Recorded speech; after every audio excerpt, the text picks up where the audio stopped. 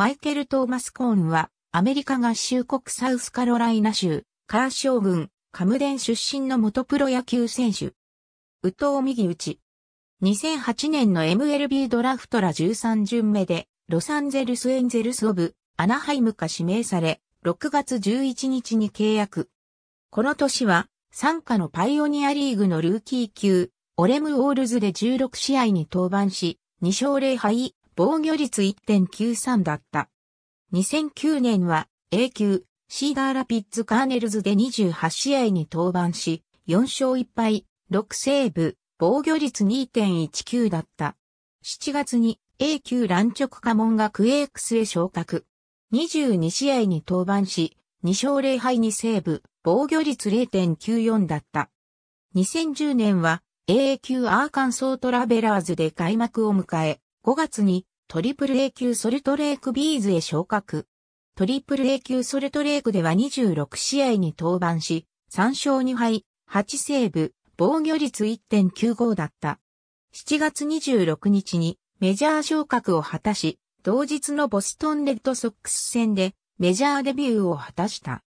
1点差を追う9回表から登板したが、打者4人に対し、2安打2失点1死球で1死しか取れず、途中降板となった。9月17日のタンパベイレーズ戦では、同点の8回裏から登板し、1回を1安打3、死球と荒れたものの、無失点に抑え、直後の9回表にエンゼルスが勝ち越したため、メジャー初勝利を挙げた。この年は24試合に登板し、2勝0敗1、セーブ、防御率2.11だった。2011年は開幕ロースター入りを果たしたが、4月10日にトリプル A 級ソルトレークへ降格。6月20日に再昇格したが、7月20日に再びトリプル A 級ソルトレークへ降格した。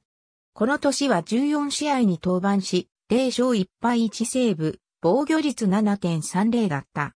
2012年4月4日に、右肘の故障で15日間の故障者リスト入りし、トミー・ジョン手術を行った。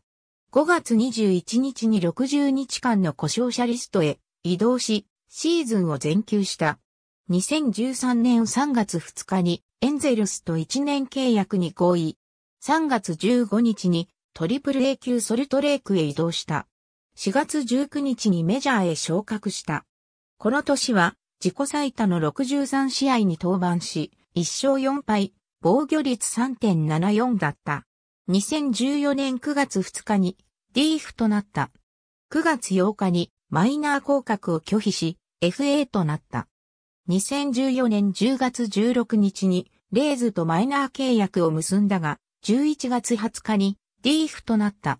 12月4日にアトランタブレーブスとマイナー契約を結んだ。2015年3月30日に参加のトリプル A 級グーイネットブレーブスへ配属され開幕を迎えた。その後4月24日に昇格した。9月14日に40人枠外となり10月5日に FA となった。2017年7月20日にミネソタツインズとマイナー契約を結び、参加のトリプル A 級ロチェスターレッドウィングスに配属された。2018年2月6日、スプリングトレーニングに招待選手として参加することが決まった。ありがとうございます。